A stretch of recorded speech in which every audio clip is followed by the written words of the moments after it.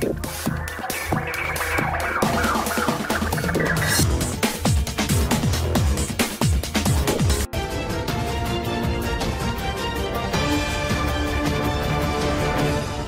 দর্শক, বিনোদন জগতের সব খবর নিয়ে এই মুহূর্তে আপনাদের সঙ্গে রয়েছি আমি রিপোর্টার জেসিকা।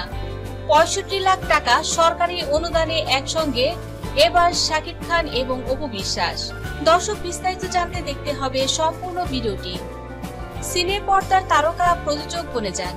বিশ্ব সিনেমা বাজারে এটাই স্বাভাবিক। ঢাকায় সিনেমায় আছে সেই ছোঁয়া। দেশের একাধিক সিনে তারকা নিজে সিনেমা প্রযোজনা করেন।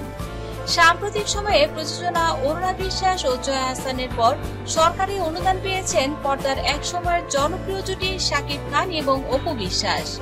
চলচ্চিত্র শিল্পে মেধা ও সৃজনশীলতাকে উৎসাহিত করার লক্ষ্যে দুই হাজার একুশ থেকে বাইশ অর্থ বছরে উনিশটি সিনেমার জন্য মোট বারো কোটি পঞ্চান্ন লাখ টাকার অনুদান ঘোষণা করেছে বাংলাদেশ সরকার।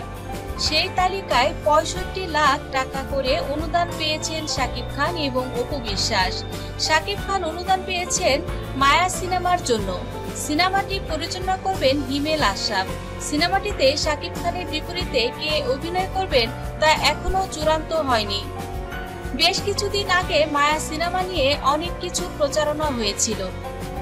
জানা গিয়েছিল, মায়া সিনেমাতে শাকিব খান এবং অপু বিশ্বাস জুটিবদ্ধ হয়ে কাজ করবেন।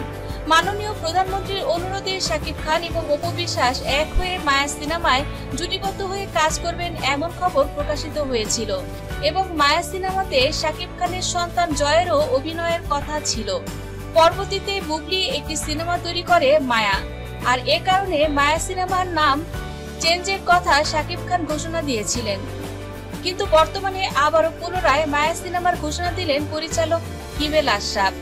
দু হাজার চৌদ্দ সালে শাকিব খান নিজস্ব প্রযোজনা প্রতিষ্ঠান এসকে ফিল্মসের কাজ শুরু করেছিলেন। তার প্রযোজিত cinema hero the superstar, password ও বীর।